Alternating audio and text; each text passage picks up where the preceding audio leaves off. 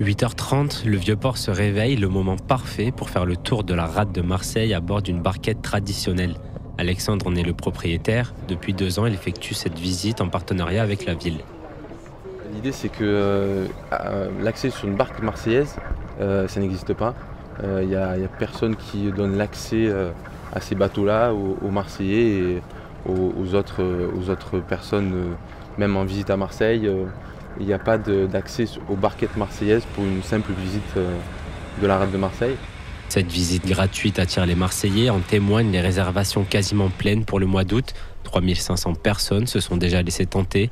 On voit arriver un public marseillais qui redécouvre euh, le patrimoine littoral vu de la mer, donc sous un autre angle, et qui apprécie aussi euh, de le faire sans, sans, moteur thermique, avec euh, le silence du, moteur électrique, en écoutant les gabians, le clapotis de, de l'eau, et une certaine zénitude finalement. Pour Alain et Martine, c'est une visite réussie. Je me vois là, voilà, je suis protiste, j'arrive dans la, dans la calanque de l'Acidon.